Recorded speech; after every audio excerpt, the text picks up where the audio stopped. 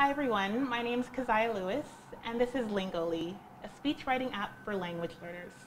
So I used to be an ESL teacher, and definitely the thing that freaked out my students the most were any type of speaking assignments, so like presentations or um, oral exams, for example.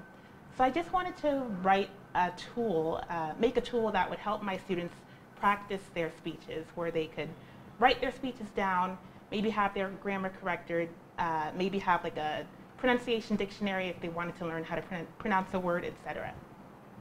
So that's basically what uh, Lingoly is. So when you go to the dashboard, you see a couple of tools um, that would help someone who is writing a speech. Um, for example, you have like a simple recorder, testing, testing, one, two, three. Then you have your audio there, you can play it back. Testing, testing, one, two, three. If you want, you can download it. Then you just have a simple timer there, which is of course very important for a lot of presentations. You have a timed, um, a time limit. Um, and then if you want to start writing, you just click on Start Writing here.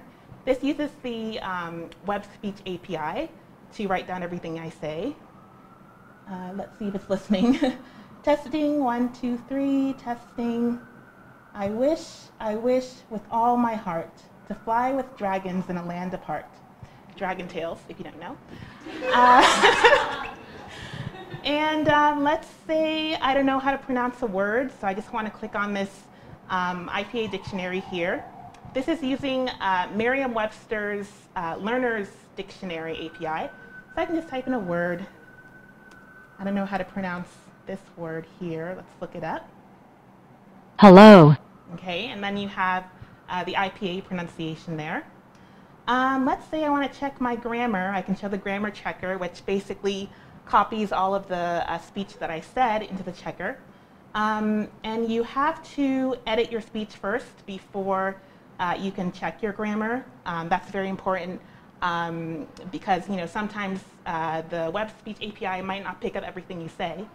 Um, so I'm just going to delete all this and um, write some sentences with some obvious grammar mistakes. Uh, for example, how are you?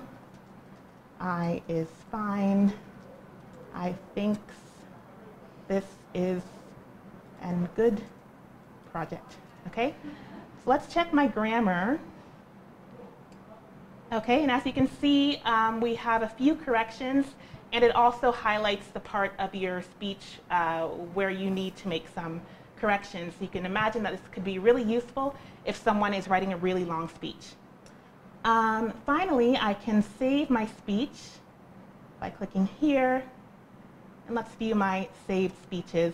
Number seven is the one uh, that I just saved. Um, yeah, so some things I want to do in the future. Um, I would love to make uh, like some sort of uh, teacher view where a teacher could log in and see all of her students' speeches. Um, maybe even see, uh, maybe the students could have like a list of favorited words that they want to work on so that the teacher in class could see, okay, I see 10 of my students want to know more about this word, maybe I should go, go over in class. Um, I also really want this to be a mobile app. Um, I was thinking about um, my students in Saudi Arabia uh, when I was making this, and they really, really, really love to be on their cell phones for everything. So I don't imagine them using a computer doing this, so ideally this would be made in React Native. Um, and that's it, thank you.